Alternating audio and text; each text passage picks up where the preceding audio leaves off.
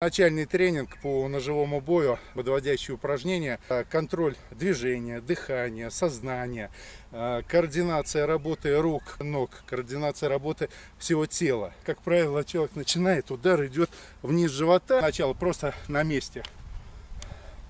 На чувство дистанции, э, посмотри, не отбивая, вот рука, вот проводи, у меня рука сверху, то я просто вот так вот ее мягко накладываю мягко накладываю. Для чего это нужно?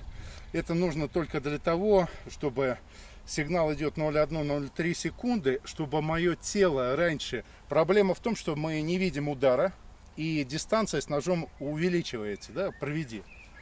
Э, и, ну, посмотри, и посильнее несколько раз, вот.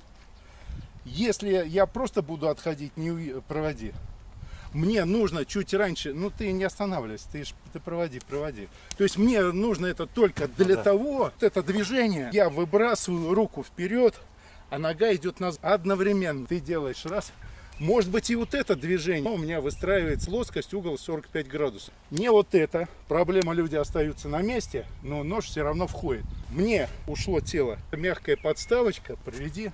Аналогично, то просто некий подрез на улице человек с ножом, он наносит серийный удар. С одного удара я отхожу, наношу тебе уже два удара. Ты должен на двух ударов прямых делать. Проводи мне. Раз. Оп, да. Ты мне два. А, я не могу, я иначе нас учили. Спортивные секции школы самообороны, да, они не, не рассматривают, которые моделируют экстремальные ситуации. Но движение может быть быстрое, но с остановкой они не рассматривают вот эти два движения. То, что кого-то где-то учили, э, законы физики, механики, оторванные да. межпредметные свинки в, в применении в действии.